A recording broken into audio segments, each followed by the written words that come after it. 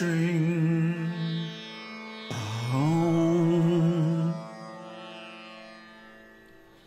Namaste. So, if you want peace, then you have to be peaceful. If you want health, then you have to give health to others. Just like if you want wealth, the best way to get wealth is to be productive and make things that people need and want. This is why we have made a course site and a community chat site connected to it. Those who are enrolled in the courses get to participate in the community. And these are the things that are missing. These are the things that are problems for the people who are interested, sincerely interested in spiritual life and making advancement in enlightenment. That is, spiritual knowledge which is non sectarian, inclusive, and based on firm ontological analysis of the entire spectrum of spiritual practices and teachings. So we have that on our course site, which is a compendium and a structured access to all of the videos on this channel, all 700 and I don't know what. But then we also have the association of like minded people. And this is extremely important for keeping up your practice, staying motivated, and not getting deviated by the multitude of distractions out there. The first thing about being healthy and advancing in spiritual life is to stop causing suffering for others. If in the beginning you don't have enough knowledge or experience to actively help others advance in spiritual consciousness, the least you can do is stop causing suffering and violence to others. And that includes not only human beings, but animals too. So, the first step, or the first rule, or the first thing you must do in spiritual life is stop eating meat. I mean, this is so obvious, at least to me, that I stopped eating meat when I was 16 years old. Actually, I, meat always disgusted me. The whole idea of cutting up an animal and taking the insides out and ugh, so gross, you know. And then once I grew up a little bit, when I got to be 14, 15 years old, I realized that animals suffer. They're just like us. They don't like to hurt. They don't want to be killed. So this business of raising animals for slaughter and killing them is extremely violent and cruel. It's actually inhuman. It's demoniac. Huh? It's devilish in nature.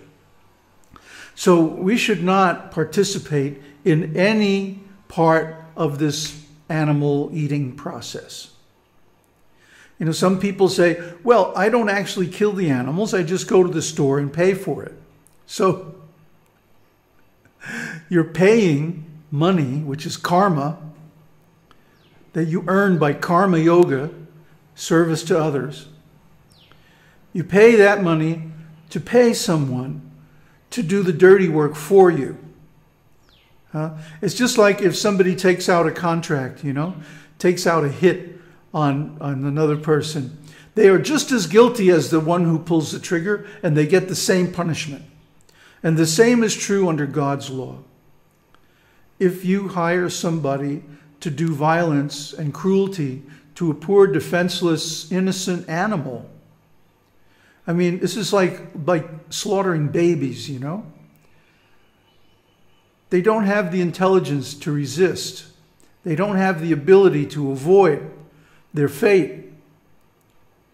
So we are the ones who are responsible by financially supporting the whole machinery. And let's not even start to get into the economic and uh, the uh, environmental costs. For every pound of flesh on your table, it costs between something between 2,000 and 5,000 gallons of water. Precious water, which is becoming so scarce now that people are starting to fight over it. And this will only increase more and more. Not only that, the stuff that the animals are fed nowadays is horrible. It's the, the, the, the garbage from the slaughterhouses, the, the garbage from the huge industrial fisheries that can't be sold to humans is ground up and fed to the cows. Even there are uh, other cows ground up and fed to the cows. And this is all garbage. It's terrible quality. And since you are what you eat, these cows become diseased. Often they're so diseased they can't even walk. And yet they're still dragged into the slaughterhouse and tortured and killed. And then they wind up in McDonald's burgers and all this other crap that nobody should be eating. I mean, just look at the people who eat that stuff. Do you want to be like them? I sure don't.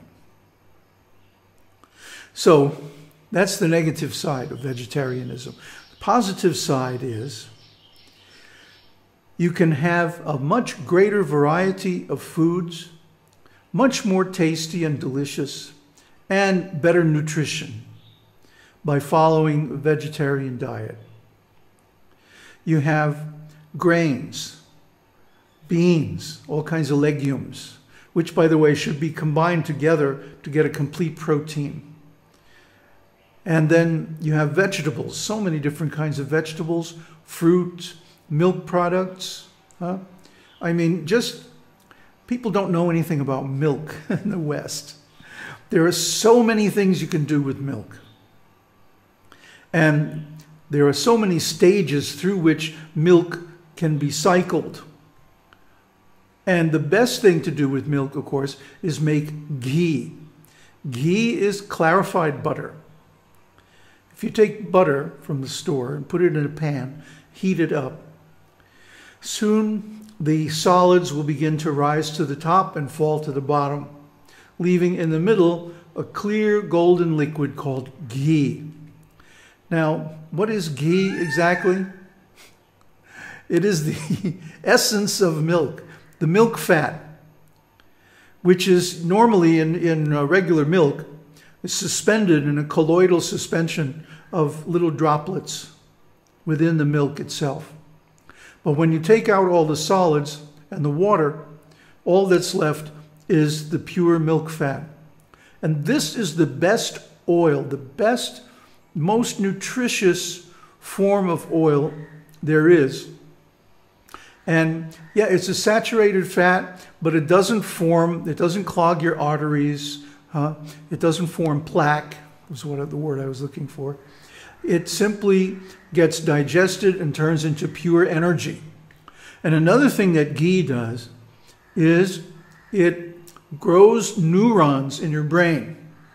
Uh, normally, scientists say that once you reach a certain age, you start or you stop creating new neurons in your brain. Well, that's because they were testing meat eaters. If you're not a meat eater and you take plenty of ghee, then you're constantly developing new neurons and neuronal pathways in the brain.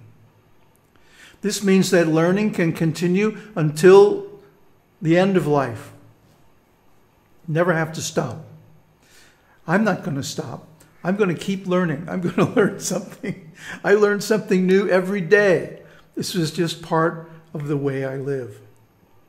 And so by taking ghee, you will increase your ability to learn things. increase your intelligence, your ability to understand and do spiritual practices, and so on. So, ghee is highly recommended. My neighbor has a big tree, and this peacock loves to hang out there. I feed him every day. Dal, huh? chana dal. He loves it. he comes every sunset to my door. Anyway, then there's spices. Spices are hugely important, especially in vegetarian diet. Did you know that if a person is having a heart attack, you can give them a couple of grams of cayenne pepper in capsules, and it will stop the heart attack. And it will also stop the damage to the heart muscle that occurs afterward. This is astounding stuff. I'll, and it happened to me. I was having some heart troubles because I got mixed up with some really negative people. And negative emotions will definitely affect the heart. So if you are involved or contacted or connected with negative people, like you got to break that right away. Get away from those people, they're going to hurt you. So, anyway, at that time, I wasn't so that aware of this. So, I got some heart troubles. And the doctor was saying, well, we have to put a stent in your artery, your coronal artery or something. So I didn't like that idea, especially after I looked up on the internet the mortality statistics for people with stents. Like 80 something percent of people who get stents have to have bypass surgery within five years. And I was like, no, no, no, we're not going there. So I went down to the health food store and says, hey, what do you got for heart trouble? Congestive heart trouble. He says, oh, cayenne, very, very potent, hot cayenne from Thailand. It comes in little capsules. It's too hot to eat. So you take the capsules along with your meal, uh, and it really helps digestion, and it also opens up all the circulatory system and your sinuses and everything. It's wonderful stuff. Capsaicin is the active ingredient. And you can get that also as an extract. So the point is, I started taking this stuff and exercising, walking every day a little bit more. And after six weeks, I went back to the doctor. He did a treadmill stress test and he says, There's no problems. This is impossible, he says. it's impossible. You can't be cured. Huh? Something wrong. So he sent me to the hospital.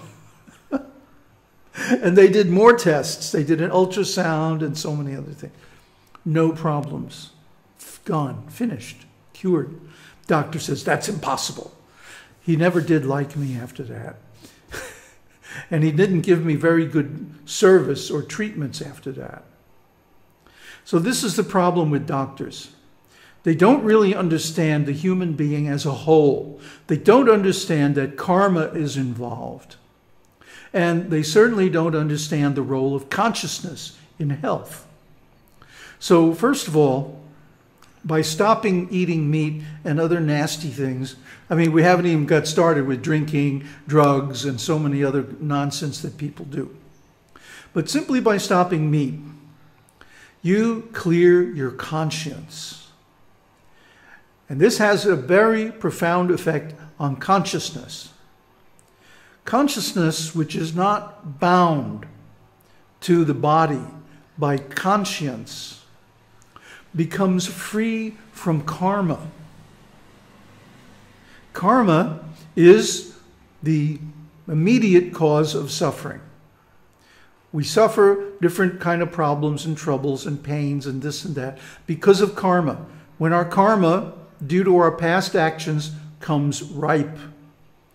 Uh, that's when we have troubles. That's when we have disease. That's when we have different kinds of financial problems and so on.